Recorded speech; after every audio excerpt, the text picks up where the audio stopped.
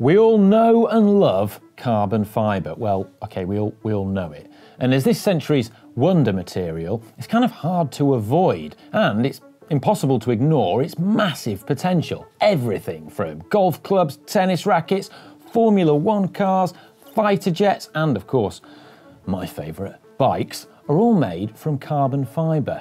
It's influenced our lives everywhere and in places that we probably don't even notice.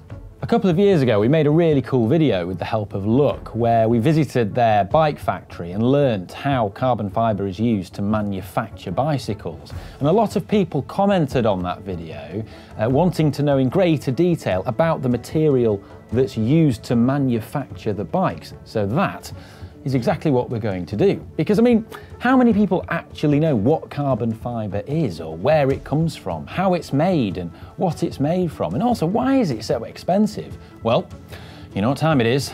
It's time for some GCN Does Science.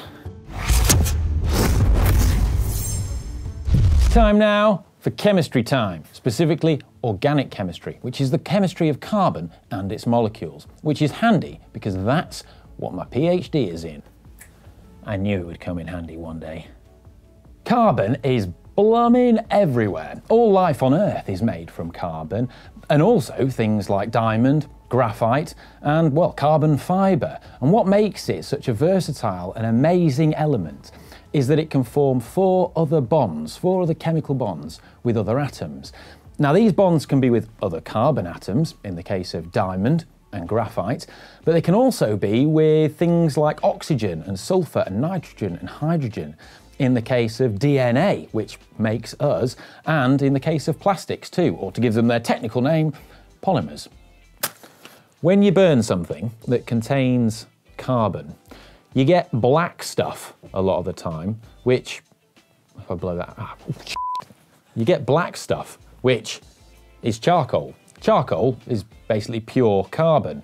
So how do you go from this black stuff and turn it into a bike frame? Well, you don't. What actually happens is they take propene gas and they do a chemical reaction with ammonia. Both of these are naturally occurring compounds. Ammonia, that's found in your wee, and propene, is found in fossil fuels and natural gas. This chemical reaction happens in massive factories, and the result is this stuff, acrylonitrile. This is the building block of carbon fibre, and it's a liquid that's said to smell like onions. But don't drink it, because it'll probably alkylate your DNA, which is chemistry nerd for bad news. Anyhow, you take your liquid acrylonitrile and you react it with itself using a chemical reaction called free radical polymerization. Now to do this you add a very small amount of a catalyst called an initiator and that causes all the individual molecules of acrylonitrile to stick together in long chains. To make this a bit easier to understand, Think of each molecule of acrylonitrile as a drunk human being at a wedding party. Next, you add your special chemical initiator for the sake of argument, that can be your annoying drunk uncle that nobody really likes. Now, the annoying drunk uncle initiates a conga line, whereby everyone has to join up in a line, in a chain reaction that just grows and grows and grows and gets longer and longer and longer. That's basically what's happening. At this point, I would love to demonstrate a conga with my fellow GCN presenters, but unfortunately, because of social distancing, I can't. Is there anything more tragic than a solo conga? Now these long chains of acrylonitrile are now a polymer called polyacrylonitrile. Poly means many. And 90% of the carbon fibre we know and love, I love, is made in this way. Now some of the other 10% is made in a process using coal tar and pitch. And this is more expensive and results in super, super stiff fibres with a really low thermal coefficient of expansion. I don't need know what that means. I mean, we don't really need to know what that means. All you need to know, this bonus fact, is that this stuff is used in spaceships mm, and not bikes. Sticking briefly with that conga analogy, additives can be added into the conga lines in order to tweak the material properties of those acrylonitrile strands. And this is dependent on the final purpose of the carbon fibre that's being made, you know, whether it's for bikes or trains or whatever. Now, of course, this is a gross oversimplification of what is a pretty complex process, but hopefully you get the idea. The polyacrylonitrile, or teeny tiny conga lines, if that's easier, are then drawn out into fibres or strands and wound onto big bobbins. Think of this as like, well, cotton reels. They're then spread out in an oven and heated in the presence of air to about 200 or 300 degrees Celsius in order to oxidize them. And this part of the process is really, really important. And to demonstrate how important it is, I've got a really expensive prop. Check this out.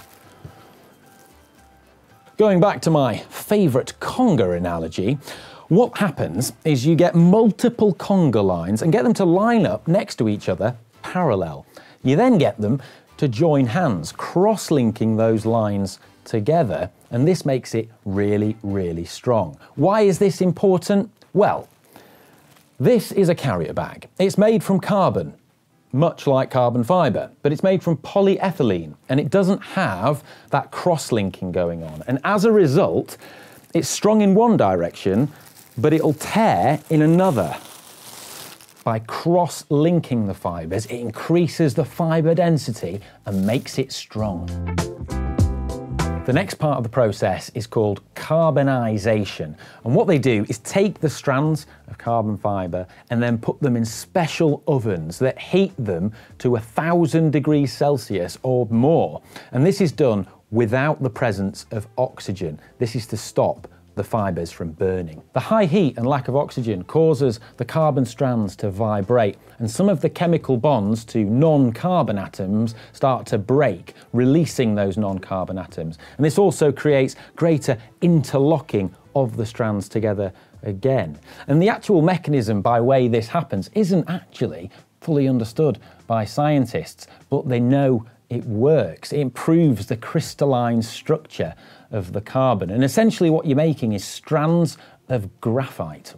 The interesting thing about carbonisation is it largely determines the modulus of the carbon fibre. Higher modulus carbon fibres are stiffer. An ultra-high modulus carbon fibre is stiffer still, but they're more expensive. And the reason for this is that they require a longer cooking time in the oven and also higher temperatures to achieve that higher modulus. As with the carbonisation process, what happens is the fibres lose weight, they lose volume, and they shrink in diameter as the non-carbon atoms are expelled and you're getting like this kind of purer carbon fibre. It's a bit like wringing out a dishcloth. This is proper high modulus now. high modulus dishcloth. Now, having carbon fibres on their own isn't great. I mean, they're super strong and have high tensile strength, but they're also quite brittle. So that's where the resin comes in, or to give it its technical name, the matrix. And, and no, I, I don't mean like bullet time, Neo, Kung Fu, all that stuff, unfortunately. Carbon fibre is a composite material, and composite materials are where you take two or more materials, combine them together so that you can combine their physical properties to make a new super material. Now, a great example of a composite material is reinforced concrete. You've got the steel wires surrounded by a matrix of concrete, and it's much stronger than just, well, steel wires on their own or standard concrete. And carbon fibre is much the same, just on a smaller scale. You've got the carbon fibre wires surrounded by resin, which is the matrix. This process isn't very simple either. Firstly, they need to rough up the surface of the carbon fibres, and they usually do this by dragging them through baths of nitric acid. Now, think of this as when you've got an inner tube and you want to repair it with a puncture repair kit, the first thing you do is take some sandpaper and rough up the surface. And this is to help improve the adhesion or sticking of what you're going to stick to, well, the object, in this case an inner tube, but in the case of carbon fibre, the fibres. With the fibre surface roughed up, a special coating called sizing is then applied. This is used to help protect the fibres so that they can be handled and processed more easily further down the line. Now at this point, the fibre is ready to be sent out either to weavers on big bobbins, uh, big like giant cotton reels of fibre, or as sheets to pre-preggers. And the pre-preggers apply the resin, the matrix to these sheets. And from there, it then goes on to factories like the Look factory where we saw it arriving in massive sheets. Now, the resins that are applied to carbon fibre are quite kind of secretive and they differ depending on the final intended use of that carbon fibre. But most carbon fibre used in the bike industry uses epoxy-based resins. A pre-preg sheet of carbon is the carbon fibre with the resin pre-impregnated into the sheet. And this is how most bike manufacturers make their frames. And it's what can be seen in the look video that we made as well. These sheets are then cut out into giant jigsaw pieces and assembled into the shape of a bike. I should point out though that there is another way, and this is used by some specialist manufacturers like Time or Team and Lightweight based in Friedrichshafen.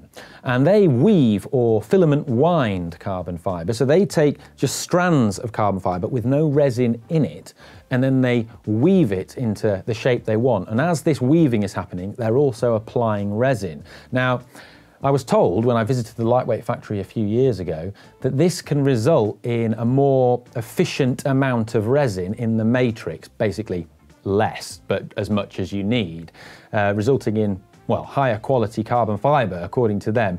But this process is more expensive. So that's where carbon fibre comes from and how it gets to the bike manufacturing stage. And incredibly, this is a process that's taken over 30 years to develop. And in terms of producers of this stuff, well, there aren't many. By far the biggest is a Japanese company based in Tokyo called Toray. They actually make the carbon fibre that's in my Pinarello F12. But there's also Hexcel based in Stamford, Connecticut, Mitsubishi in Sacramento, California, uh, and a whole host of others, such as SGL Carbon based in Wiesbaden, Deutschland. So what about the future then? How can carbon fibre be improved? Well, we could develop higher performing resins and higher performing fibres. Material scientists would love to use carbon nanotubes as the fibres in carbon fibre. These are much stronger than the pan-based fibres that we use at the moment. Think of them as sheets of graphite that have been rolled into tubes. They're incredibly strong if you made your bike from these, it would be bulletproof. If you made a t-shirt out of these, it'd be bulletproof. You could even, apparently, according to scientists, make a space elevator from them. They're that strong. Um, I haven't made that up. You can look it up after you've watched the video. It's true.